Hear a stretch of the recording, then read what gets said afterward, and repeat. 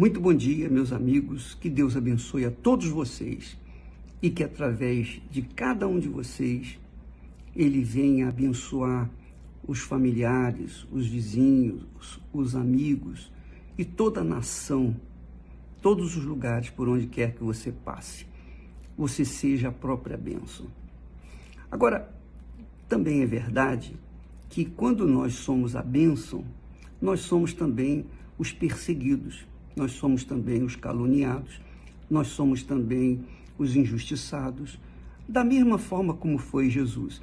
Jesus foi perfeito, perfeito varão aqui na terra.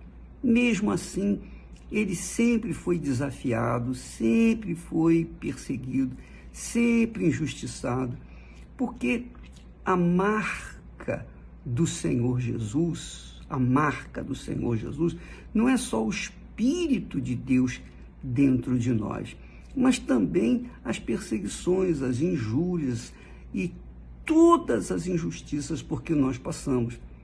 Veja só, o apóstolo Paulo, conduzido, dirigido pelo Espírito Santo, diz lá que em tudo somos atribulados.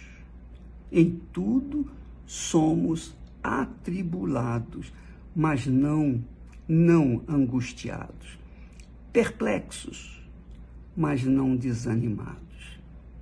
Perseguidos, mas não desamparados. Abatidos, mas não destruídos.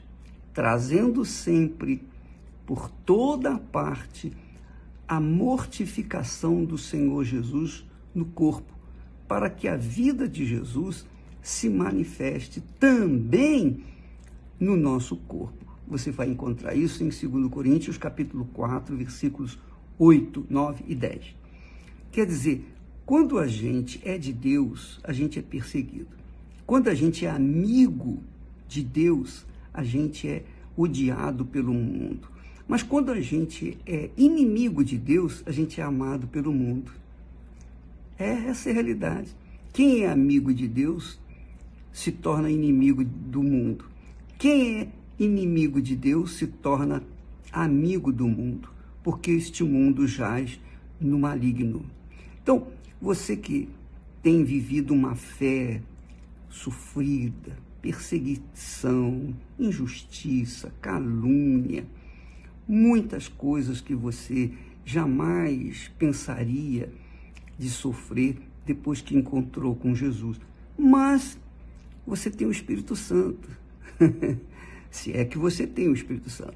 Quando a pessoa tem o Espírito Santo, ela é angustiada, ou melhor, ela é atribulada, mas não é angustiada. Ela é perplexa, mas não desanimada. Ela é perseguida, mas não é desamparada. Ela é abatida, mas não destruída. Bom, você que viu o nosso filme, que já viu, já leu Nada a Perder, um e dois, você já deve ter visto quantas injustiças, quantas perseguições nós fomos vítimas. E, no entanto, estamos aqui, continuamos na mesma fé, para espalhar para o mundo, ou semear no mundo, a palavra de Deus, para que aqueles que foram ou que forem chamados e escolhidos venham ser salvos. Aqueles que foram chamados e escolhidos sejam salvos. Aqueles que foram chamados e não foram escolhidos, eles saem por aí, eles começam bem, mas acabam desanimando, porque não têm o Espírito de Deus. É como os, a história ou a parábola do joio e do trigo.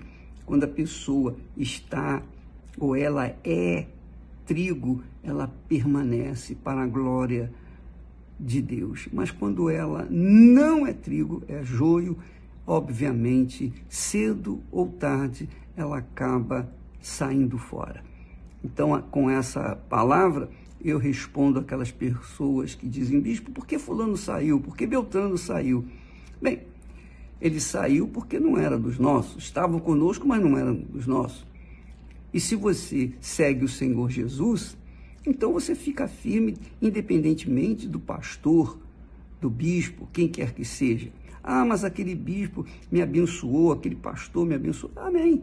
Ele fez nada mais, nada menos do que a obrigação dele, porque para isso ele foi chamado. Mas ele não permaneceu, o que, que a gente vai fazer? O que, que a gente vai fazer?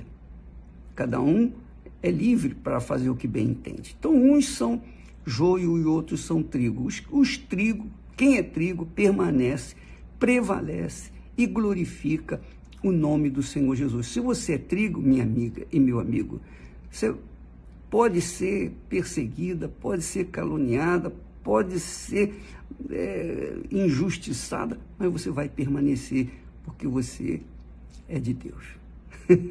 Não é glorioso isso? Deus abençoe a vocês todos e até amanhã, em nome do Senhor Jesus.